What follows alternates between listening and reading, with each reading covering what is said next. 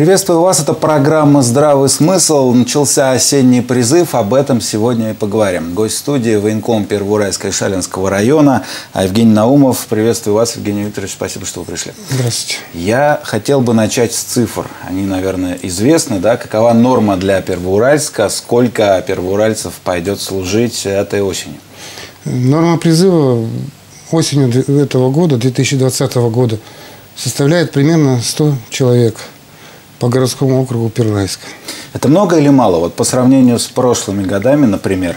По сравнению с прошлым годом эта цифра немножко меньше в связи с тем, что весной этого года из-за коронавирусной инфекции некоторые городские округа не смогли выполнить э, норму призыва, и нам пришлось помогать. И мы перевыполнили свою норму на примерно 10%, поэтому на эту цифру как бы нам и снизили весной, осенью, вернее, норму призыва. Угу. Но вот сейчас, учитывая, что есть пандемия коронавируса и вот эти обстоятельства, Первореск выполнит эту норму, как вы считаете? Ну, здесь э, определяющим фактором, я думаю, не является сейчас уже как бы ковид, потому что все меры принимаются э, по предотвращению заражения призывников – как на призывном пункте, так и на областном сборном пункте. А вот какие Здесь это основ, меры? основные факторы, которые влияют на выполнение нормы призыва, это все-таки как бы количественный, качественный состав призывников, которые находятся у нас на территории городского округа. Понимаете? То есть, грубо говоря, это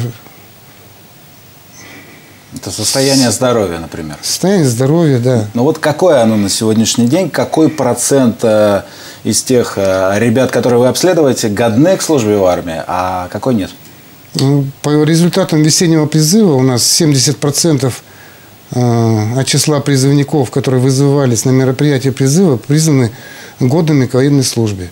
Эта цифра у нас получилась на 2,5% больше, чем предыдущем призыве весной, то есть год назад еще. Угу. Вот, 70%.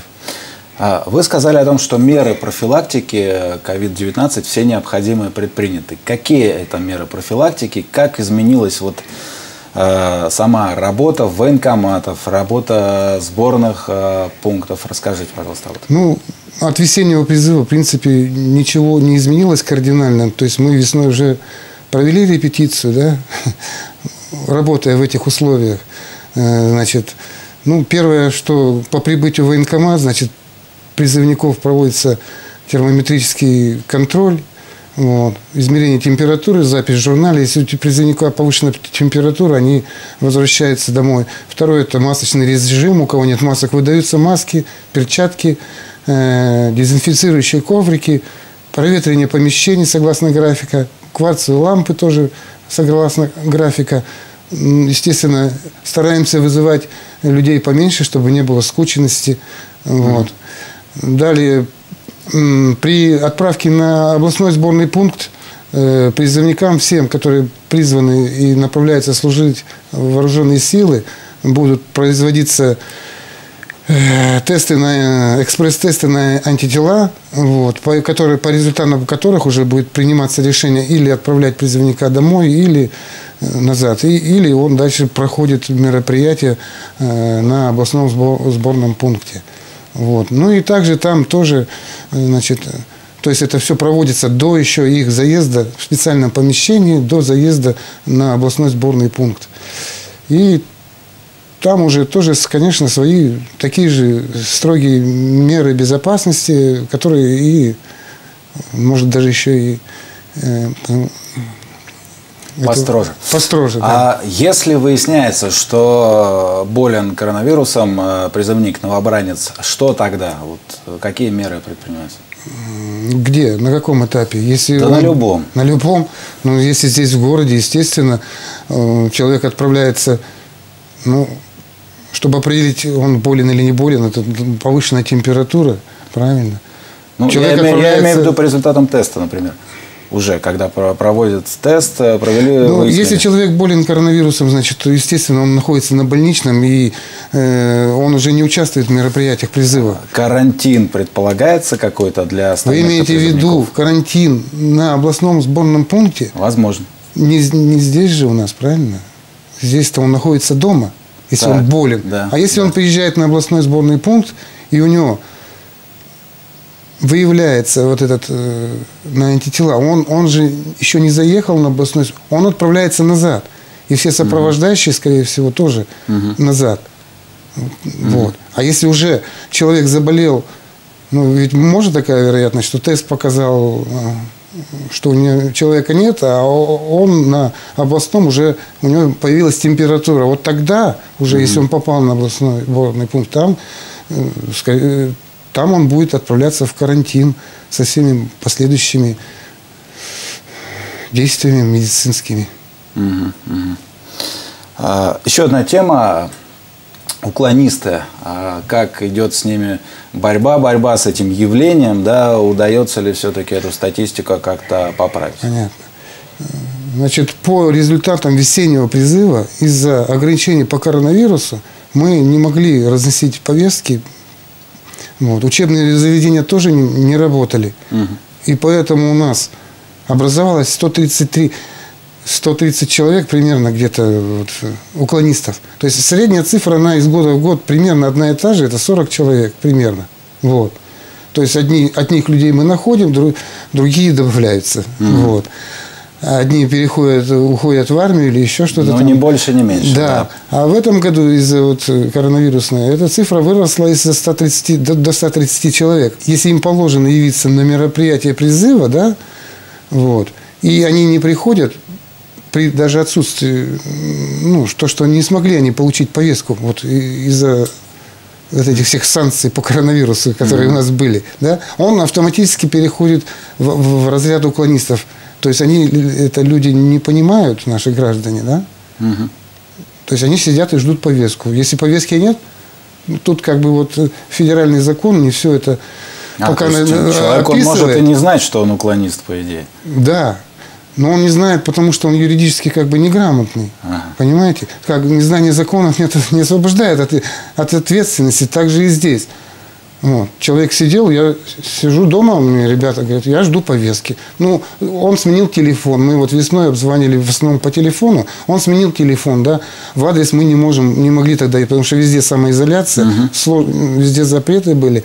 Естественно, мы его не можем оповестить. А он сидит дома, не идет. Значит, он что у нас становится уклонистом. Но в результате, значит, проведенных мероприятий, э, во взаимодействии с администрацией городского округа и Министерством внутренних дел, Первоуральским отделом.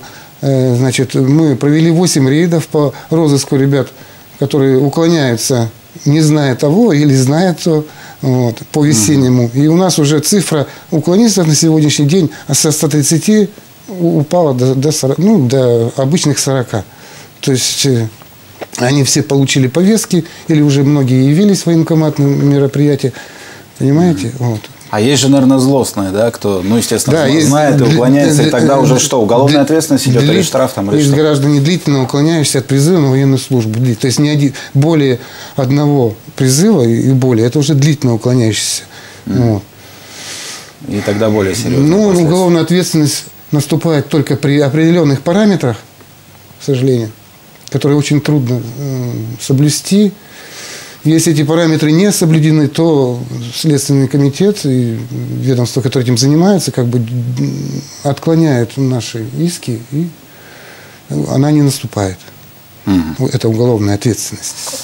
Вот еще о чем хотел спросить. Можно ли говорить о том, что а, с каждым годом контрактников в армии становится все больше, а а военнослужащих по призыву все меньше? Можно ли говорить, что армия переходит на такую узкоспециализированную, может быть, основу? Ну, конкретных цифр у меня нет на этот предмет. Вот.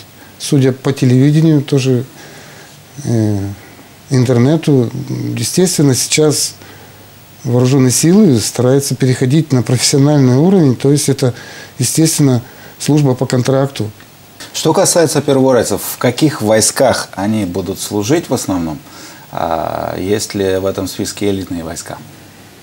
Ну, как всегда, у нас э, самый, самый элитный род войск для призывников – это президентский полк.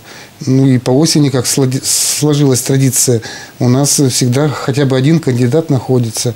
Вот. И в этом году, сейчас вот у нас завтра призывная комиссия будет призван на военную службу кандидат от городского округа Первоуральск у нас молодой человек, который будет направлен на службу в президентский полк. Затем, значит, ну, наряд, как все года, во все рода и виды вооруженных сил э, нашей армии. Вот. Затем, какие еще у нас элитные подразделения, которые вот я предлагаю служить ребятам с высшим образованием, понятно, люди, люди уже отучились там много лет, им 23, там, 24 года, уже как бы считают себя старыми и не хочется уже в армию идти, да. Вот. У нас сейчас есть такое понятие, как научная рота. Научная рота – это туда отбираются молодые люди с высшим образованием, имеющий диплом, э, средний балл по диплому не ниже 4,5 балла, и там есть список э, специальностей, как бы, э, которые имеют приоритет. Угу. Вот. Ну, то есть там юристы, естественно, на научной роте не нужны. Это, в основном это нанотехнологии, информационные системы, там, медицина. Вот. И Э, в течение службы по призыву в этих специальных э, центрах у нас они созданы по стране. Вот я знаю, на берегу Черного моря, в Санкт-Петербурге, еще где-то они есть у нас. Вот, они решают какой-то узкоспециализированной задачи, по результатам которых, я так понимаю, делается вывод о их как бы, компетентности и их желании дальше продолжать службу уже по контракту звания, э, в качестве офицеров в этих научных ротах. Вот.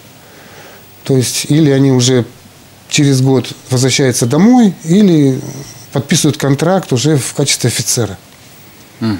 Вот. Ну, вот, в общем-то, это сейчас самый э, одни из элитных как бы еще э, неплохая специальность, которой могут ребята овладеть с высшим образованием, это специалист по защите государственной тайны, вот, потому что эта специальность востребована во многих силовых структурах и ребята у нас направляются в Краснодарское высшее военное училище, где они проходят значит, обучение 3-4 месяца, а потом распределяются по всем воинским частям на территории нашей необъятной родине, и уже в качестве вот этого специалиста они продолжают службу.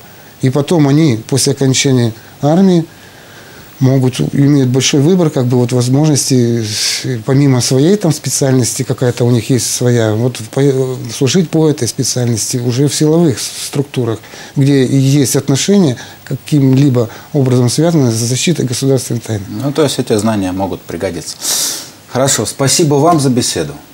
Спасибо телезрителям за то, что вы сегодня были с нами. Будьте здоровы, берегите себя. Всего доброго и до встречи.